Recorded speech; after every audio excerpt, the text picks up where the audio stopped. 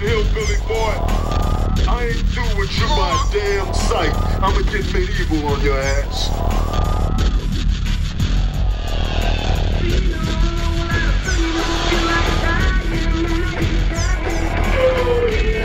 Shop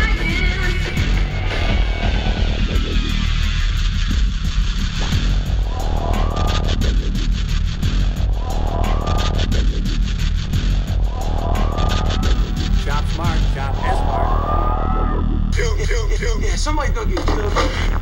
Somebody's gonna get their motherfucking head blown.